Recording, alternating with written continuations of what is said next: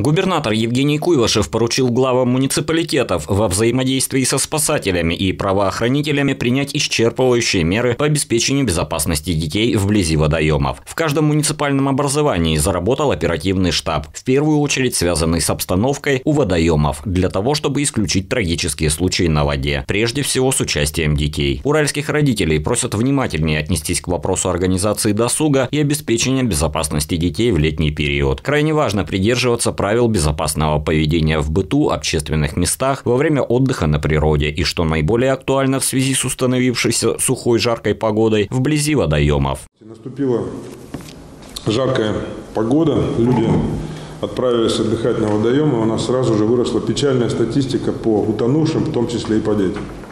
Я прошу вас незамедлительно уже в эти выходные организовать дежурство спасателей, привлечь волонтеров, усилить взаимодействие с подразделениями МЧС.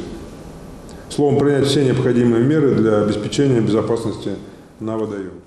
За летний период на акваториях Свердловской области погибли шестеро детей. Все трагедии произошли в местах, не оборудованных для купания, а дети находились без присмотра взрослых. Специалисты напоминают, что на территории региона нет ни одного водоема, оборудованного для купания, и где нахождение в воде являлось бы безопасным. Для предотвращения подобных происшествий сотрудниками МЧС совместно с полицейскими и представителями муниципальных органов ежедневно патрулируются зоны отдыха вблизи водоемов и напоминают отдыхающим общем о соблюдении правил безопасности. Также рейды по акваториям проводят и специалисты Государственной инспекции по маломерным судам. Дополнительно для патрулирования водных объектов в границах каждого муниципального образования привлечены члены добровольных народных дружин. Кроме того, в местах традиционного массового отдыха людей на воде планируется выставить спасательные посты. Также будет обращено дополнительное внимание к владельцам лодок, катеров, гидроциклов, участвующих в организации отдыха на воде по соблюдению требований требований безопасности на акватории и правилах использования маломерных судов. Отметим дополнительные риски для безопасности детей не только на водоемах, но и на дорогах, во дворах и в других общественных местах создает тот факт, что в этом году с учетом действующего ограничительного режима к организованному отдыху в загородных лагерях привлечено гораздо меньше детей, чем планировалось. На сегодняшний день в области работает чуть более 40 загородных лагерей с 50% наполняемостью, что продиктовано предписаниями Роспотребнадзора. В связи с тем, что достаточное количество детей летом находится на городских улицах, эксперты обращают дополнительное внимание родителей на необходимость постоянного напоминания детям о соблюдении правил дорожного движения. Кроме того, находясь в быту, родителей просят не оставлять ребенка одного в комнате с открытым окном, использовать специальные блокираторы и быть осторожными с москитными сетками, которые не защищают от выпадения из окна. С учетом того, что в АГО также фактически нет оборудованных площадок для купания, взрослым особенно важно обратить внимание внимание на детей, которые находятся на водоеме без присмотра старших. Как говорится, чужих детей не бывает. Кроме того, важно помнить и о бережном отношении к природе и подаче личного примера подрастающему поколению. Мусор на берегах не только портит окружающую среду, да и вообще картину отдыха, но и несет в себе массу прямых опасностей. Особенно это касается битого стекла, консервных банок, брошенных рыболовных снастей и тому подобное.